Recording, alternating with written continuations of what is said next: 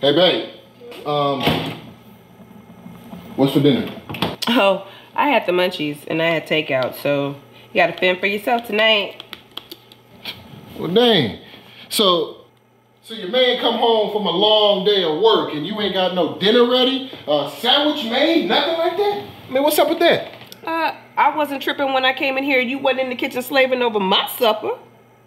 Supper? David, listen. I probably should have told you before you moved over 200 miles that um I don't cook. Wait, wait, wait, wait. wait. You, you don't cook or you don't know how to cook? There's a difference. Listen, I'm a feminist and I believe in equality. Non-gender roles in the workplace and at home. We're equal. So you trying to tell me a brother can't get rights in the state because I have a penis? You're not listening.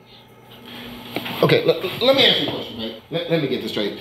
Let me ask you a question. If I was to make your favorite dish right now, would that make you uh, less of a feminist?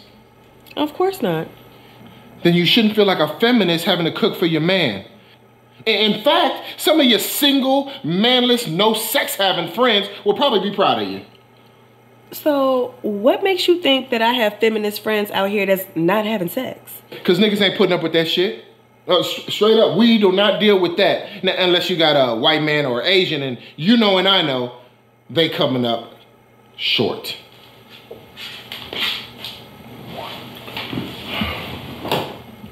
Man, Listen, let's not fight.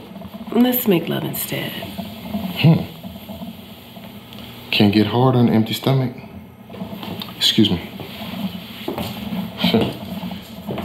Want to make love, ain't got no damn Subway sandwich. Ramen noodles, serious, nothing for me.